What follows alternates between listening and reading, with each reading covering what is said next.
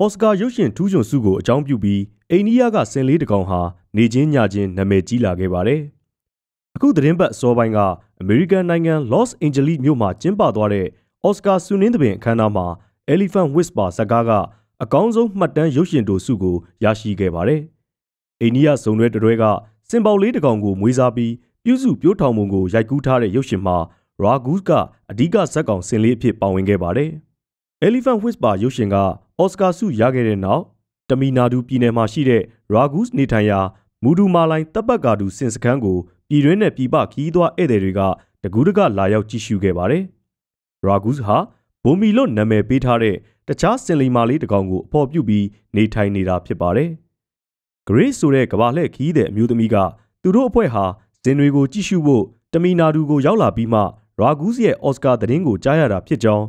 အော်စကာဆုရှင်စင်လေးကိုတွေးခွင့်ရတာ တအားကံကောင်းကြောင်းပြောပါတယ်။ရုပ်ရှင်ကိုအထူးတလဲယူသွတ်တဲ့အိန္ဒိယနိုင်ငံဟာအရင်ကအော်စကာဆုတွေရခဲ့ဘူးတဲ့ဆိုပေမဲ့လည်းအိန္ဒိယထုတ်ရုပ်ရှင်ဇာတ်ကားတစ်ခုကဆုရတာကတော့အခုတစ်ကြိမ်ပထမဆုံးလို့သိရပါတယ်